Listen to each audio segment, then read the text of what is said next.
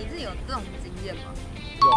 有，嗯，有，啊，是在什么样的一个情况下发生？可以讲一下故事。就是可能出去一起出去单独，嗯然后就有一个到最后有一个气氛嘛，你跟他还有后续吗？比较没有那么常联络。我不会，有身边朋友会吧？有就是可能去酒吧，然后喝一下酒，然后喝 完喝完就不小心去厕所了。有经验吗？嗯，没有。没有，今天在台面上也不好意思说有，但应该是真的没有啦，是真的没有，真的没有。嗯我相信你。那你认同这个词吗？自己是不会做这样的事，但是我是没有关系的，对认同的这件事情是认同的。就是身边朋友如果有人这样子做的话，你会觉得没关系，就是对，那你是你的人生自由，对。你自己有这种经验吗？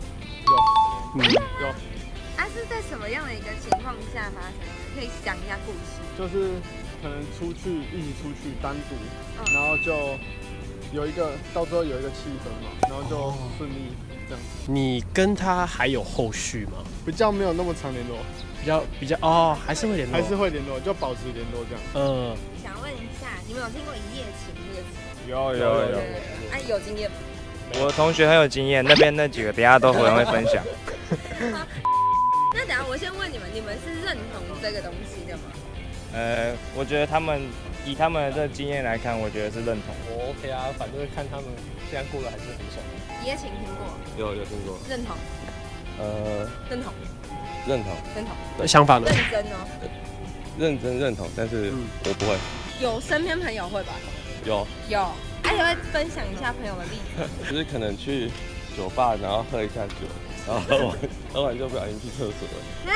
如果你你今天想要一夜情，你觉得你会跟朋友一夜情，还是要跟陌生人一夜情？那其实好像朋友不这样。朋友会很尴尬。应该陌生人比较好吧？朋友会怕传出去之类的吧？这个一定要选，应该选陌生人。朋友的话太太奇怪了吧？就是会有那个隔阂，对隔阂在。我觉得陌生人比较好一点，因为毕竟不是自己，不是自己那个认识的。应该还是会选择陌生的，因为朋友就还是会有一种隔阂的感觉，就是做了之后会有一种怪怪的感觉，很难形容。上次的费用是怎么处理的？上次的费用是两个人一起付，哦，A A 的。哦，哎，平分，对，我付，啊我付，你付嗯，所以女生不用。对吧、因为才多少钱，对不对？哦，就一个晚上而已啊，又不是对不对？长期。那你呢？我应该也是我男生想要做那种事，喂，也不一定男生而已哦。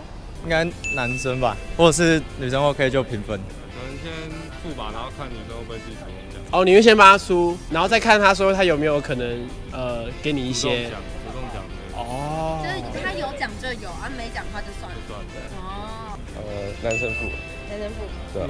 双方 AA 吧，对，嗯因为各其各其所需。这件事情应该是两个人都享受，所以我觉得也要平分吧。然后 A A 呃，对对。讲下来啊，其实我真的觉得很明显，真的超明显。男生们可能稍微比较开放了一点，女生们好像刚刚有一两个，对，会还是会有那种要先相处过后才可以发生关系的那种感觉。只要你们真的是有做这件事情，一定都要保护好双方。